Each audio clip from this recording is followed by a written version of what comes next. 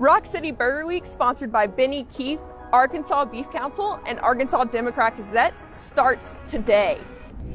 Each restaurateur and chef will prepare their unique take on the burger or a fan favorite already on the menu.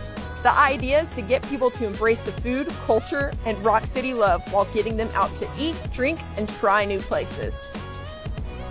There will even be burger passports at all participating locations. Get four stamps and you will be eligible to be entered in a drawing for a grill out for you and 25 other people. Also, $1 of every burger purchase will go to the Arkansas Food Bank. Today, we decided to try local Luna's Cheese Dipper Smash Burger.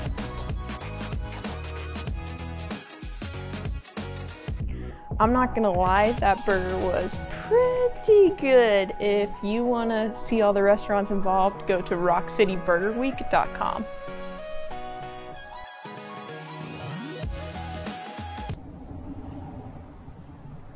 Okay.